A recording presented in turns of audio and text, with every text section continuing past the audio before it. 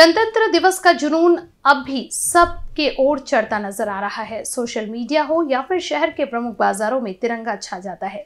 इस श्रृंखला में 26 जनवरी के कुछ दिन पहले से ही शहर में गणतंत्र दिवस की तैयारियाँ देखी जा रही हैं, जिसमें शहर के स्ट्रीट लाइट पर केसरी, सफ़ेद और हरे ऐसे तीन रंगों की रोशनाई की गई है। इस रोशनाई से शहर में गणतंत्र दिवस की तैयारियाँ जोरों पर दिखाई दे रही हैं।